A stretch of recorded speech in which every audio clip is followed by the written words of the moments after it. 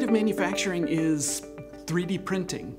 Instead of molding a part or machining it, additive manufacturing involves technology that fuses the material, maybe using a laser in the case of metal, in order to build up the part one minute layer at a time.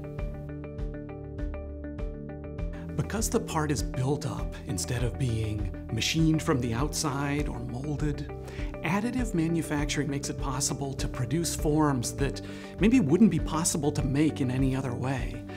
Possibilities include parts that have complex internal channels, parts with lattice or honeycomb structures on the inside for weight savings, Additive manufacturing makes it possible to customize a part, changing the details at the last minute because there's no dedicated mold tooling.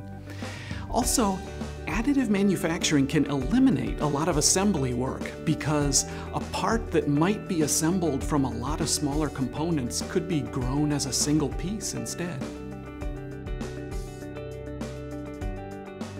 Additive manufacturing makes a variety of end-use production parts, including jet engine components, other aircraft parts, medical devices, surgical implants. Additive is also used to make mold components that actually improve the molding process because the cooling channels, instead of being straight drilled holes, can be grown to conform to the shape of the mold surface. Additive manufacturing as a production option is still in its infancy. The number of users and applications is growing, but still small. Over time, additive manufacturing machines will become faster, their build envelopes will get bigger, the processing of various materials will be better understood.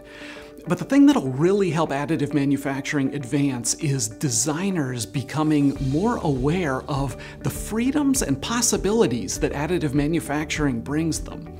The established rules of what forms are manufacturable have, in a lot of ways, now changed.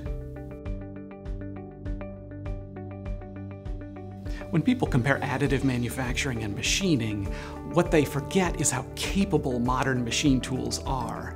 A part that is machined effectively today probably will still be machined tomorrow. Additive manufacturing will replace machining for some parts, but the better way to think about additive is as a complementary process. One, because in metal, a part produced additively probably is still going to need finish machining.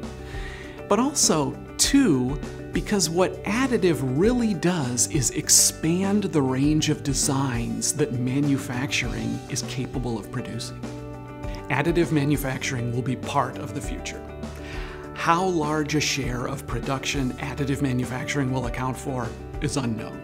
How quickly it will advance is unknown but we will see additive manufacturing take its place as an established, accepted production option alongside molding, machining, and other processes. In the future, additive manufacturing will account for some significant share of the way that parts are made.